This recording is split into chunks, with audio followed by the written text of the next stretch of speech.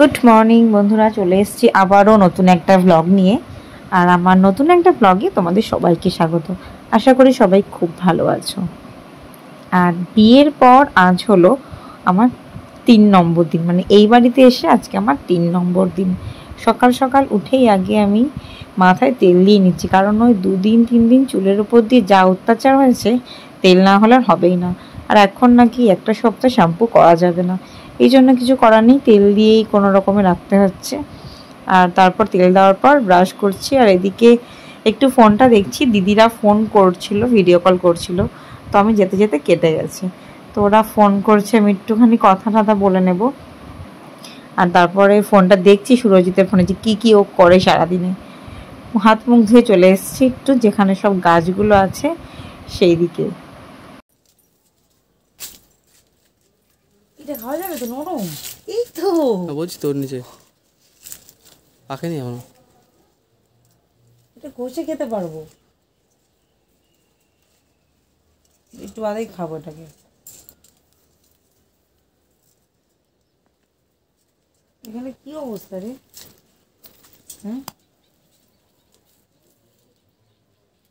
ওদিকে আমাদের বাড়িতে সব সময় গাছের যত্ন করতে করতে আর গাছকে দেখাশোনা করতে করতে এখানে এসেও আর জন্য ওয়েট করতে পারলাম না, যেখানে বেশি গাছপালা আছে উঠানের মধ্যে সেখানেই চলে এসেছি। আর দেখছি হাতের সামনে বেশ ভালো দুটো পেয়ারা আছে।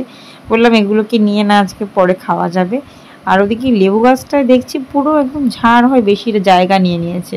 তাই বলছিলাম যে লেবু গাছগুলো যদি একটু ছেটে দেওয়া যায়। ওদিকে এত রকম জবা গাছ দেখে জিজ্ঞেস করছিলাম যে কোনটা কি? তো তবে তার মধ্যে দু তিনটে আমিই দিয়েছিলাম বিয়ের আগে আগে, যে গাছগুলো যদি বড় হয় তখন ফুলগুলো ফুটলে পুজো দেওয়া যাবে। আর অনেক রকমারি ফুল যেহেতু আমি ছোট থেকেই দেখে এসেছি, ছোট থেকে মানে যখন থেকে গাছ ভালো লাগতে শুরু করল, তাই মনে হয় যে ওখানেও যদি একটু গাছ হয় তো ভালোই হবে। কত গাছ এখানে চারিদিকে, লেবু গাছ, এই গাছ এই গাছ, পেয়ারা গাছে পেয়ারা হয়েছে। বলছি পেয়ারাটা নেব নেব? হ্যাঁ এখানটা পুরো জঙ্গল হয়ে গেছে, এখানটা পরিষ্কার করতে হবে। আর কিছু খেয়ে আসি, তারপর সব পরিষ্কার। আর ওই গাছটা ঘরে রাখার গাছটা?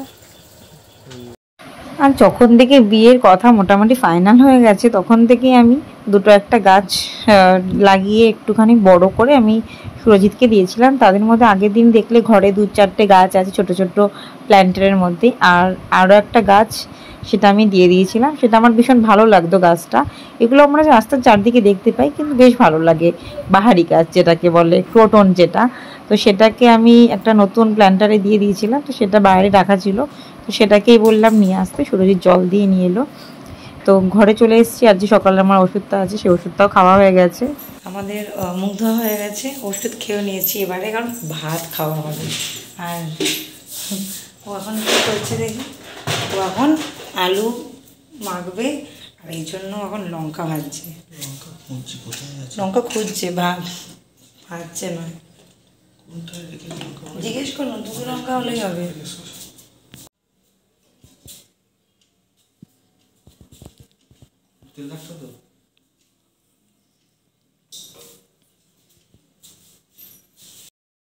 এদিকে বলল, তেল রাখবে। ওদিকে নিয়েছে একটা বড় ঝাঁঝরি হাতা। তো জানি না কি করে এটাকে এর মধ্যে তেল রাখবে।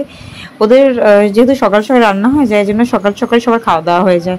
কিন্তু ভাতটা আমি পরে খাব, আগে আমি খেয়ে নেব চা। আর এই জন্য সুরজিৎ সকাল সকাল চাটা করে নিল আজকে আমার জন্য। যে কদিন বাড়িতে আছে কয়েকটা দিন, তো সে কটা দিন যদি একটু এরকম মানে সার্ভিস পাওয়া যায় তো ভালোই হয়। যাই হোক, ও চা নিয়ে চলে এসছে। আর এখন কি বিস্কিট খাব সেটাই জিজ্ঞেস করছে। আর বিয়ের আগে থেকে আমার শরীরটা এতটাই খারাপ, তোমরা বুঝতেই পারছ, গলা ঠলা বসে গেছে। তো অত কিছু খাওয়ারও ইচ্ছা নেই।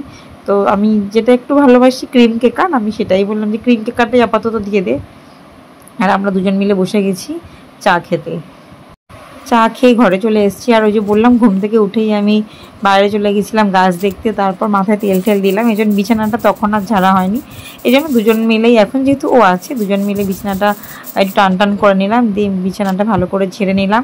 আর এই যে লাল রঙের প্যান্টারটা দেখতে পাচ্ছ, সেই গাছটাও আমি আগে রেডি করে দিয়েছিলাম। ওদিকে টেবিলের ওপর যে ব্যাগগুলো ছিল, তার মধ্যে দুটো একটা জিনিস ঢুকিয়ে এখন রাখতে হবে। পুরো ঘর এদিক ওদিক পুরো অগোছালো হয়ে গেছে, আর পুরো ঝাড়ার পর আমি পুরোটা একটু মুছে নিই। মানে যতদিন পারা যায়। নাহলে অনেক ধুলো হয়ে যায়। ওদিকে জানলাটাও একটু মুছে নিচ্ছি। নিজের ঘরকে যতটা সম্ভব পরিষ্কার রাখা যায়। তো ওদিকে ওটা মোছা হয়ে গেছে। এদিকে আমাদের শোকেসের ওপরে যে জিনিসগুলো রাখা ছিল, ওগুলোকে চটপট নামিয়ে নিচ্ছি। নামিয়ে একটু মুছে নেব। যাতে ধুলোগুলো না জমে। প্রতিদিন করলে একটু ধুলোটা কমই হয়। এদিকে সুরজিৎ যা জামা কাপড় এদিক ওদিক হয়েছিল, ওগুলোকে ভাঁজ করছে। ভাঁজ করে ঢুকিয়ে দিচ্ছে জায়গা মতো।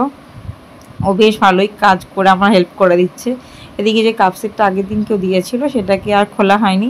সেটাকে খুলে রেখে দিই, যখন আমরা সবাই চা খাব, তখন এটাকে ব্যবহার করা যাবে। এছাড়া তো অনেক কিছু পেয়েছি, সেটা যখন আমাদের গিফট আনবক্সিং হবে, তখন তোমরা দেখতেই পাবে। তারপর চলে এসেছি বারান্দায় সব ট্রেগুলো নিয়ে। জামা কাপড়ের যে তত্ত্বের ট্রেগুলো সেগুলো তো আমি আগের দিনই দিয়ে দিয়েছি সবাইকে। আর এগুলো হলো আমাদের বাড়ি থেকে যে ট্রেগুলো তত্ত্বগুলো এসছে, তার মধ্যে যে কসমেটিক্স আছে আমার, সুরজিতের তারপর আরও যে অনেক কিছু আছে, সেগুলোকে এখন ট্রে থেকে বার করব। ওদিকে সুরজিৎ এখন কথা বলায় ব্যস্ত, তো আমার কিছু করার নেই। ওদিকে এই যে সাবান কেস, তারপরে অনেক কিছু যে ছিল, শ্যাম্পু, সাবান, যা যা তত্ত্বে দিতে লাগে কম বেশি। তো সেগুলো সুরজিৎ একটা একটা করে বার করে নিচ্ছে।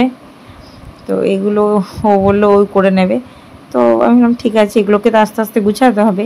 যত ঘরে পড়ে থাকবে, তত ঘরটা একটু অগোছালোই দেখতে লাগবে। তো এই জন্য সুরজিৎ এগুলোকে গুছিয়ে নিচ্ছে।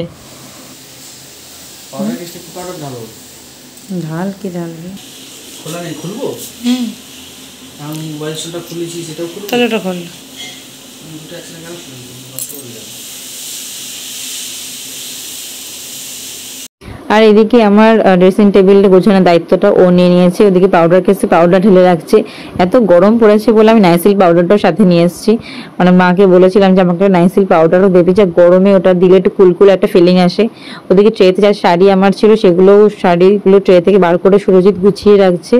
আর এই যে ট্রলি দেখতে পাচ্ছ ট্রলিতে আমার যে নতুন শাড়ি কয়েকটা মানে যেগুলো একবার পরা হয়েছে, বিয়ের আগে সব কেনা হয়েছিল বা খাওয়া হয়েছিল আইবুড়ো ভাতে, সেগুলোকে সব গুছিয়ে নিয়ে চলে এসেছি। তো এগুলো চটপট করে সুরজিৎ গুছিয়ে নিই। তো আজকের ব্লগটা আমি এখানে শেষ করছি। দেখা হবে নেক্সট ব্লগে ততদিন খুব ভালো থেকো সবাই, সুস্থ থেকো। আর আমার চ্যানেলটা যারা এখনও সাবস্ক্রাইব করনি, চটপট সাবস্ক্রাইব করে দাও।